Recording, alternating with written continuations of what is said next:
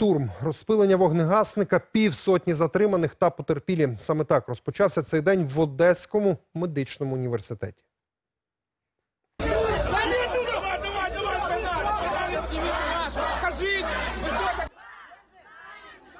Зранку поліція отримала повідомлення, що невідомі, мовляв, захопили приміщення ректорату. Одночасно туди прибули і співробітники приватної охоронної агенції, які намагались витіснити захопників.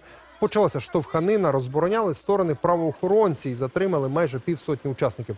Згодом із забоями до медиків звернулись дві людини. Один із них поліцейський, але на цьому протистояння у виші не скінчилось.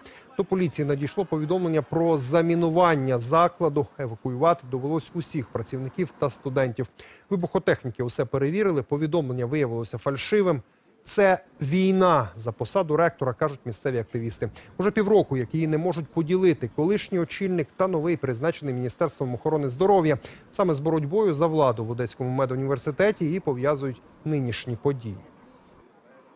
Нанесення тілесних ушкоджень працівнику поліції та хуліганські дії. Затримані люди це люди, які приймали участь у зіткненні. Один одна група з іншою. Працівники поліції втрутились та розборнили.